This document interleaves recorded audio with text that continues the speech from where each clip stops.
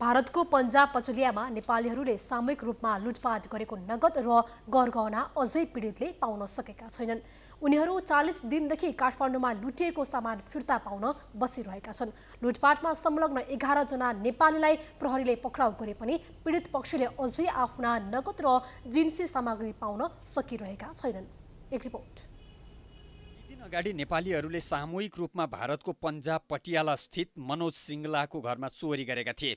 सिङ्लाको घरबाट सिङ्लासँगै रितु कौर र थप एकजनाको गरगहना चोरी भएको थियो। स्रोतका अनुसार एक करोड बराबरको नगद र सात करोड बराबरको गरगहना चोरी भएको हो। नेपालीहरूले भारतमा यति ठुलो परिमाणमा फिल्मी शैलीमा चोरी गरेका छन्। हेर्नुहोस् सिङ्लाको घरको यो सिसिटिभी फुटेज।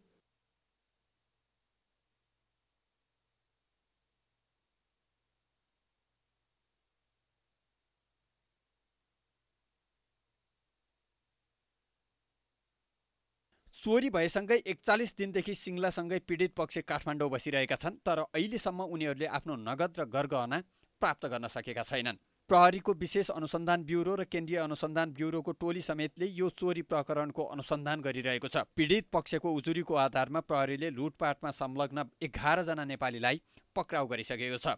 बुधबार मुम्बई जान ठिक्क परेको जहाजबाट पक्राउ परेका सन्तोष लामिछाने लुटिएको सामान किन्ने व्यवसायी भएको पनि अनुसन्धानबाट खुलेको छ। प्रहरीले घटनामा संलग्न व्यक्तिलाई पक्राउ गरे तापनि पीडित पक्षले आफ्नो चोरी भएको नगद र सामान अझै पाउन सकेका छैनन्। यस घटनाबारे नेपाल प्रहरीसँग पनि अपेक्षित जवाब छैन। र त्यो के भइरहेछ भन्ने कुरा पनि मेरो जानकारीमा छैन। र यो बारेमा यहाँले भन्नुभयो त्यो कुरा चाहिँ अब बुझौँला हामी। म बुझ्नेछु। के भइरहेको छ। यदि चाहिँ प्रहरीले नेपाल प्रहरीले अनुसन्धान गरिरहेको छ भने कुन जिल्लाले गरिरहेछ त म बुझ्छु।